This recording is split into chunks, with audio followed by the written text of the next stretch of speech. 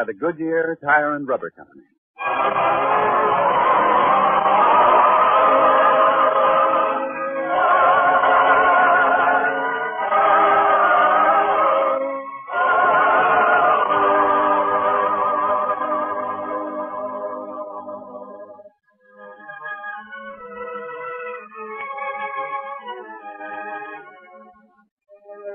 Tonight we present The Lost Coin, a drama of forgiveness and aid to those who need forgiveness, based on a teaching from the greatest life ever lived.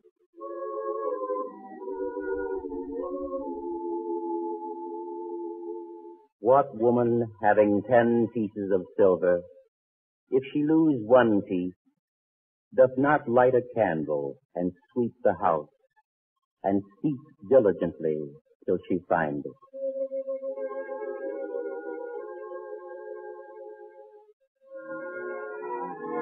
Thus he spoke almost 2,000 years ago. Yet even as he spoke of coins, those who listened knew he spoke of souls, how they become lost and how they are found. And they remembered perhaps a woman and her son, whose story began in this way. At night, on the edge of a vineyard in Galilee. Come on, David. No one can see us. You think it's all right? All the other boys raid this vineyard. Why shouldn't we? Well, then let's hurry. Oh, there's nothing to worry about. Take your time. You know, this is the best time of year for grapes, too. And we can start right here. How do you like them? Large and juicy, too, I bet, huh? Come on, taste them. We ought to get out of here as soon as we can. If my mother ever Your found out- mother? So that's it. If I'd known that, I wouldn't have asked you to come along. Don't get so jumpy. Let's take a few bunches and run. Come on. Who's out there? What are you doing in my vineyard this time of night? Who is it? That's Caleb. Now we'd better run for it. Come on, David. Abner! Abner, wait for me! Help me! Wait and get caught, maybe? Not me. You'll have to take care of yourself. Sorry. Abner! Abner! Oh, oh, my foot hurts. But I'll get away. I'll. Oh, Now, you, you wait, you young scoundrel. I'll see that you get what's coming to you. Oh, so it's you, David. Well, I never expected... I'm sorry, sir. Caleb, it was it was only a well, well a joke. Please don't do anything to me. What joke is it? My best grapes, spoiled before they can ripen. Torn from their vines. That's no joke, David, not to me. And this has got to stop. Oh, please, sir. I didn't even touch one grape. I'm sorry, young man, but someone has got to be made an example. And I caught you in the very act of trespassing on my property. You'll come along with me. Oh, please, sir. My mother. What will she say if she finds out? I can't worry about that. Come along. No, no, I won't. You let go of me. The only time I let go of you is when I turn you over to one of the town guards. This time I'll teach you all. No, no, let go of me. Oh, there. I told you I'd get away.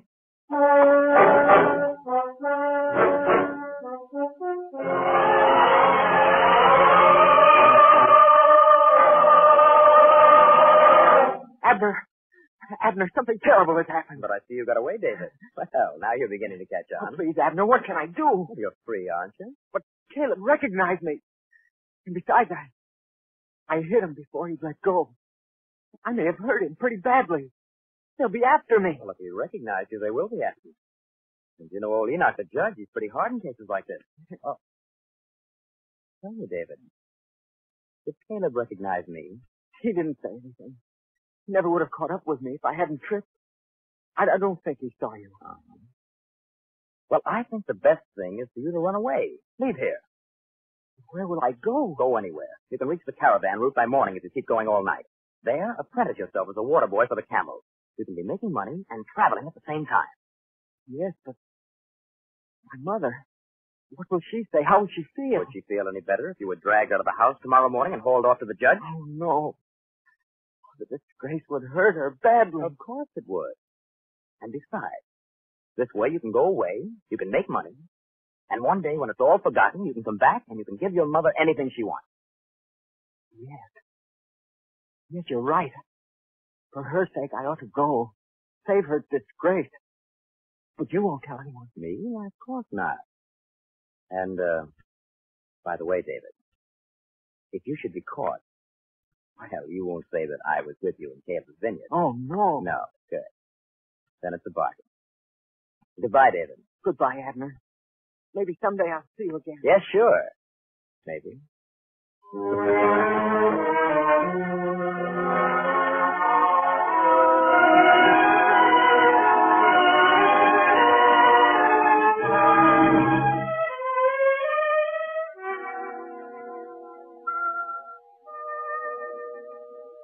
Already, Simon.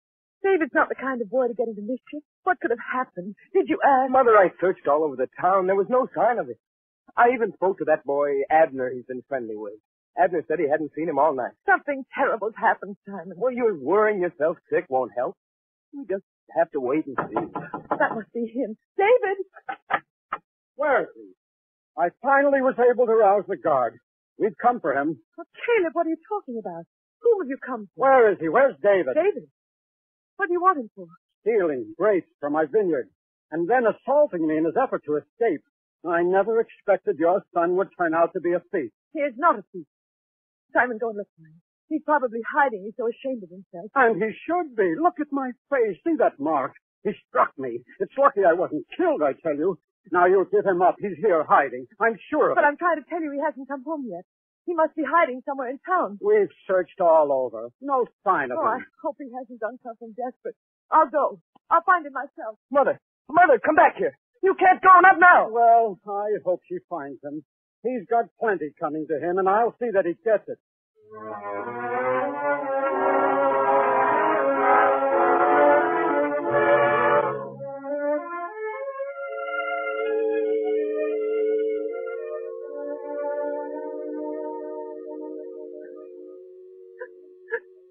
Please, mother, weeping doesn't help. I only knew where he was. I'll try to find out.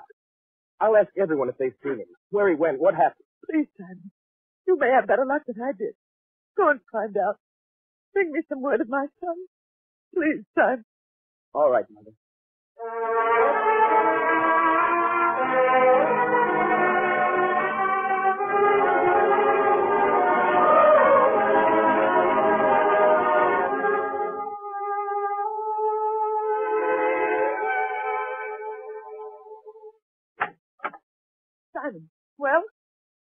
Mother, I, I didn't find out anything definite.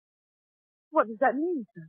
Nobody, well, nobody's sure. Simon, you don't usually try to hide your meaning in words. What happened? What did you hear? Someone said that David was last seen leaving town and heading in the direction of the caravan trail. The caravan train. But why? No. No, don't tell me, Simon. I think I know. You you really think he would, Mother? He was a proud boy, sensitive. He wouldn't have wanted to disgrace us. Yes. He must have run away. Well, a little rough experience may be what he needs. He'll be back. He'll be back. I'll bring him back. But Mother, that's impossible. Simon, your brother's young. He's never been away from home before. I can't trust a chance that he'll be all right. I must know. I could never rest until I knew. Mother, I won't let you do it. You can't stop me, Simon. No one can. We must find him and show him the way back.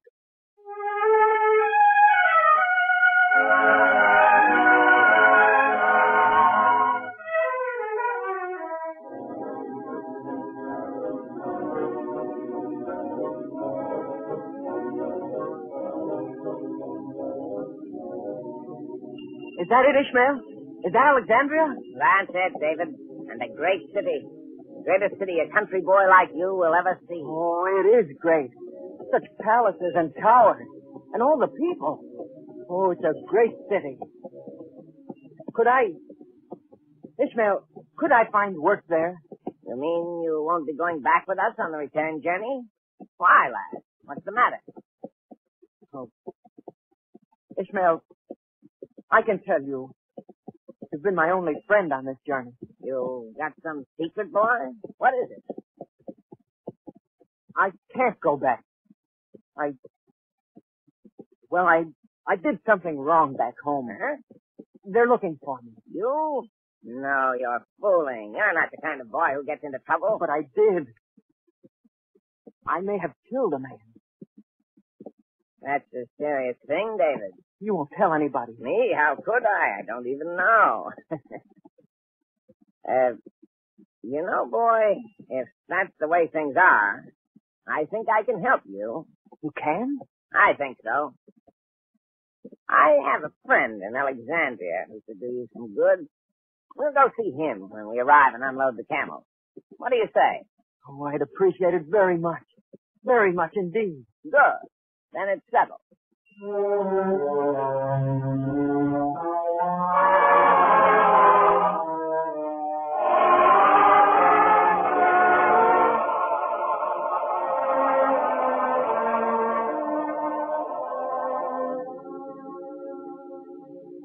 Well, Mother, now that we've come all the way to the caravan route, how much better off are we? You've only worn yourself out. You know nothing more now than you did before. That's not so, son. Just because the man said that he'd seen a boy who looked like David. It wasn't that he looked like him. It was the way the man talked about him. How he said that the boy seemed shy, afraid. Remember how the man said his eyes shone so brightly? I knew it was David then. I knew it. And if it was, Then we'll have to follow the same route as that caravan he joined. That could take us all the way to Alexandria. It could. And I'll go. Because it may take me to my son. You know I won't let you go alone. I have to go, Simon. I should know by this time. If it's David who's involved, you'll go. You won't turn back. And if it were you, do you think I would? He's not David or Simon or Nathaniel. He's my son who's in trouble. I'll go along, Mother. You'll need some to protect you from your own zeal. We'll go together. Thank you.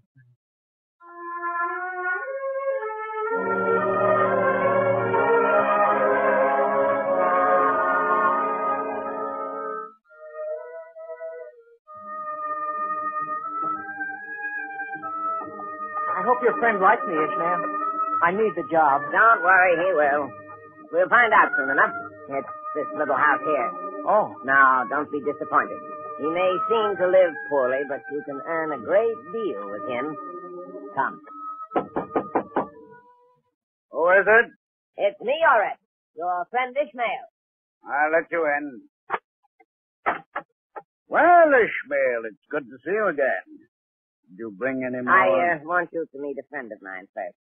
Orrit, here is a strong, bright lad named David. He's, uh, he's looking for employment. He is, huh? Well, possibly I can help you, young man. Come in, come in. May I have a word with you privately, Ishmael? I'm sure David doesn't mind. of course not. Then come this way, Ishmael. Well, The boy's running away. Thinks he killed a man. good. With that over his head, I'll be able to hold him. You think he's good material? Smart enough to do anything and frightened enough to try anything. I'm sure of this one. Fine. I'll make it worth your while. Now, any other business? I couldn't get my hands on any gold. We carried grain this time. But next time. Well, this boy may be worth his weight in gold. I'll give you your payment this time as usual, and if the boy works out as you think, well, there'll be more in it for you, Ishmael. Come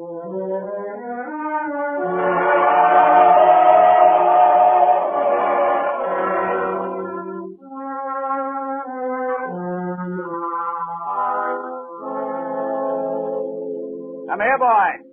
I want to talk to you. Yes, all right. Did you decide about the job? Ishmael said before he left that you seemed favorable about it. I am. You think I like to see a young lad like yourself alone, so far from home, without a place to sleep or anything to eat? The job's yours, but uh, it will require some training. Training? I learned quickly, sir. So Ishmael told me. Well, we're going to find out. Yes, sir. What do I have to do? First, we have to have a little talk about it. You see, this is a different kind of business than you may have had in mind, but it's more profitable. Oh, that's good, sir. Because I must make a great deal of money. There's so much I have to make up for to my mother. That's a good boy. Now then, you see this leather coin pouch hanging from my belt? Yes, sir. How would you go about taking it if you didn't want me to know? But why should I? Go on, try it. Take it. All right, sir. There. Not good at all. Too sudden, too much of a pull. You have to do it easily, you see? Like this. Otherwise you'll be caught the very first time. Caught? What do you mean? Your job will be to go into the marketplace, to go where the crowd of merchants is thickest. You want me to steal? You will. I will not. Then I shall have to go to the authorities and tell them I'm housing a boy wanted for murder. You told you. Yes, he told me. And now, boy, if you want to live, you'd better do as I say. And I say steal.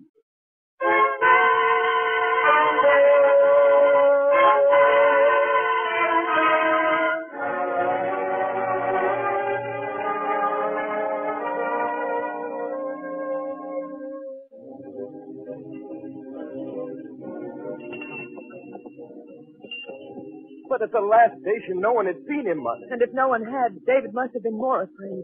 He must have been hiding. Don't you see, the further he runs, the more help he needs to return. He thinks we don't want him. I've got to prove to him that we do. Mother, you've gone too far already. Your health doesn't permit you to go on. And my love for my son doesn't permit me to stop.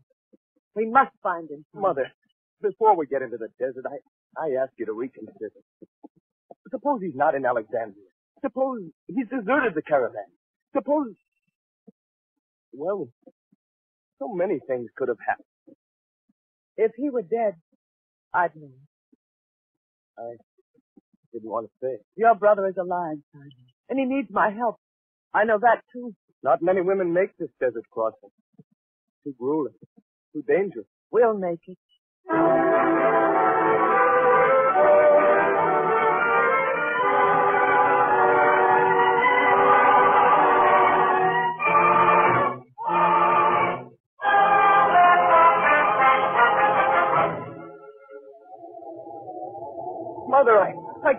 Go through this storm. We must turn back. I will not turn back, Simon. Ahead where the storm ends, he may be there, sick, alone, needing my help. We won't turn back. But they've already lost three camels and one driver. If the men can't make it, how do you expect to? I've got something they don't have. The need to see my son again. We'll keep going, Simon.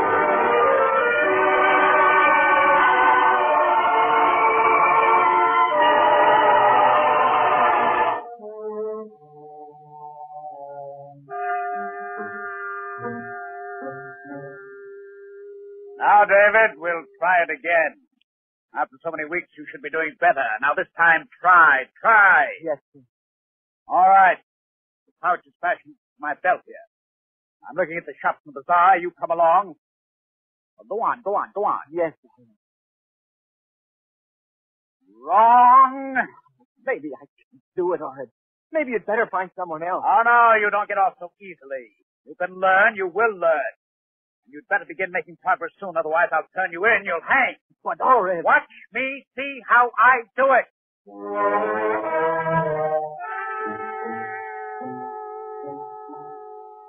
We'll do it once more.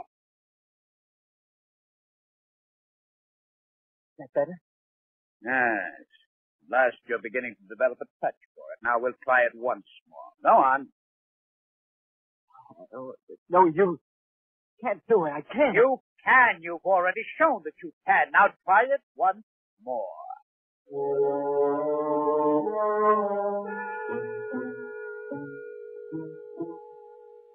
Better. Better. The last few days you've been doing it beautifully. But out there, I'll be afraid. I won't be able to do it, Orib. I know. Oh, yes, you will. I'm not a thief, Orib. Only a murderer. I don't even know if I killed him.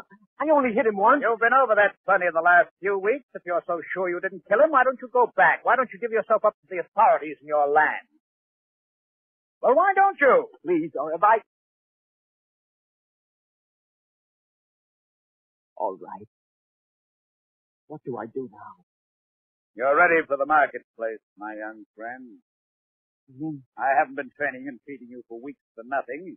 You've got to start sometime, and tomorrow is the day. But if they catch me... Now, there's a little guarantee I have that you won't give up too easily. If they catch you, a foreigner here, There'll be questions.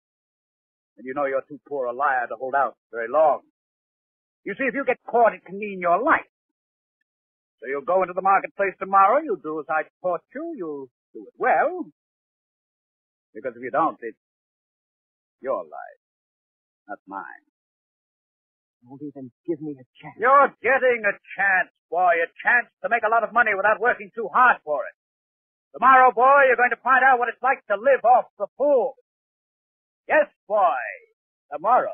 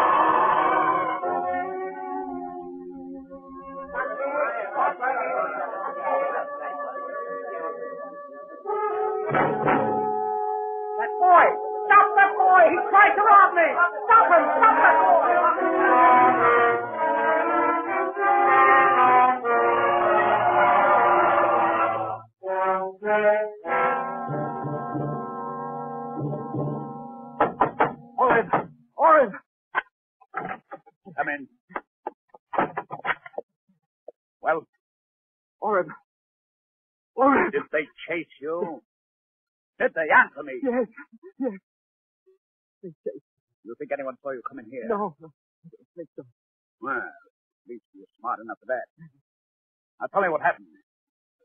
Went into the marketplace, just as you said. I mingled with the crowd. There were many merchants there. I picked out one whose purse didn't seem too securely tied to his belt. I edged up to him, had my fingers on the cord. I pulled it. The purse came loose. And then he discovered you? No, Well, what happened? I can't tell you all this. Oh, yes. Please, you're hurting me. I'll do worse than hurt you. Now, what happened? Uh, couldn't do it. I dropped it at his feet and began running. You what? I couldn't do it. I began running. That must have made him know what I tried to do. Then I heard voices calling to stop me. I just ran, ran, ran. Oh, you did. Eh? All right. You ran. I'll teach you to run. I'll teach you.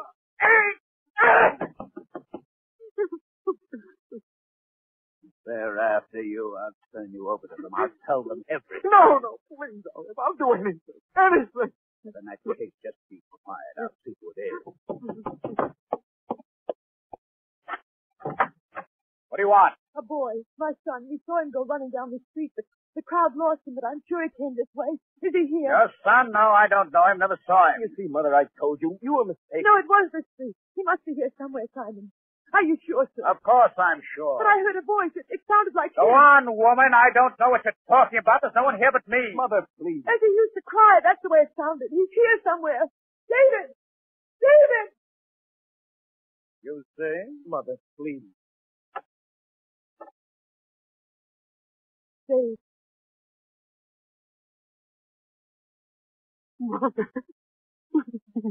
My. And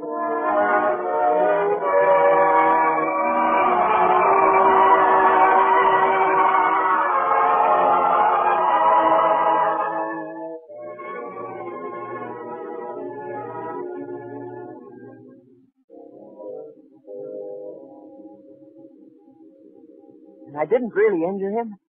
Oh, it's so hard to believe. I know, David. It was your fear that took you so far from me. Once someone does something wrong, the guilty feels drives him further and further on the road to evil. That's why I had to find you, David. To let you know that we want you back. I must ask Caleb's forgiveness.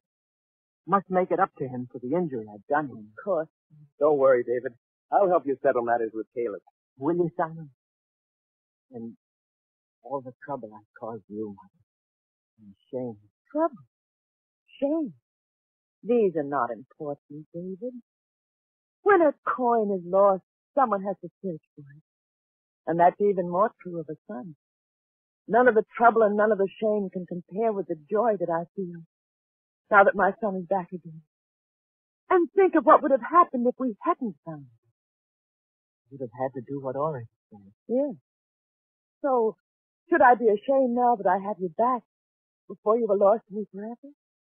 Ah, no, David. I feel joy and pride, and so will all my friends and neighbors, now that I've found my son and brought him back to good ways and a clean life.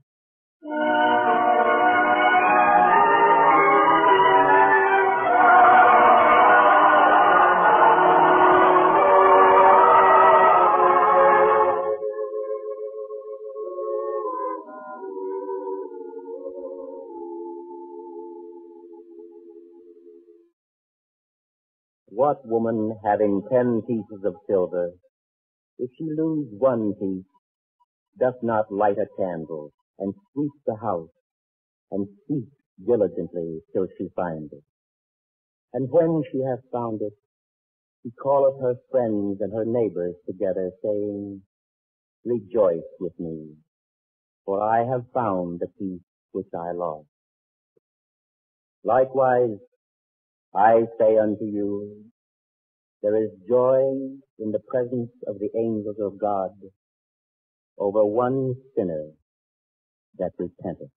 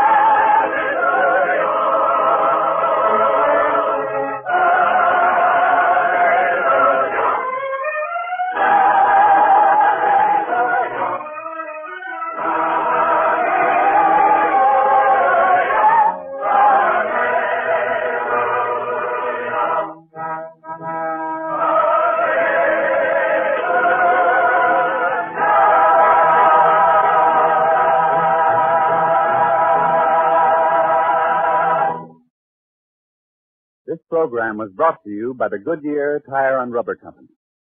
Next week on this same network at this time, we'll present Call Not Any Man a Fool. Another episode in the greatest story ever told from the greatest life ever lived.